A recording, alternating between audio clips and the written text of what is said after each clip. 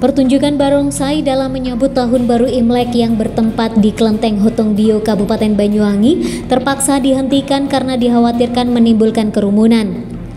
Pertunjukan tersebut dilaksanakan di halaman Kelenteng Hutong Bio pada Senin malam dengan nuansa merah yang melambangkan kegembiraan. Namun atraksi barongsai harus dihentikan pada pukul 9 malam lantaran terjadi kerumunan dan dikhawatirkan akan terjadi resiko penularan COVID-19.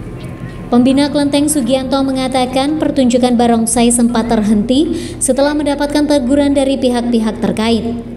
Pihak Kelenteng juga menerima saran tersebut demi menjaga kesehatan bersama. Sebelum COVID melanda, perayaan Imlek dimulai dari pukul 7 malam hingga 11 malam. Namun perayaan malam tadi terpaksa dihentikan lebih awal. Nah, untuk penyelenggaraan barongsai sendiri sempat terhenti kenapa, Pak?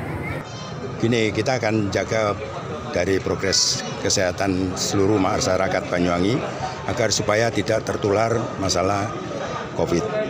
Kalau biasanya kita sampai selesai sampai jam 11. 11 kalau apa tuh untuk Tionghoa itu eh, jam 11 malam itu seperti jam 12 untuk Indonesia. Jadi seperti itu. Pihaknya meminta maaf kepada warga Banyuwangi yang menonton atraksi barongsai karena acara tidak bisa dilanjutkan hingga akhir. Tim Liputan Binetwork Media mengabarkan.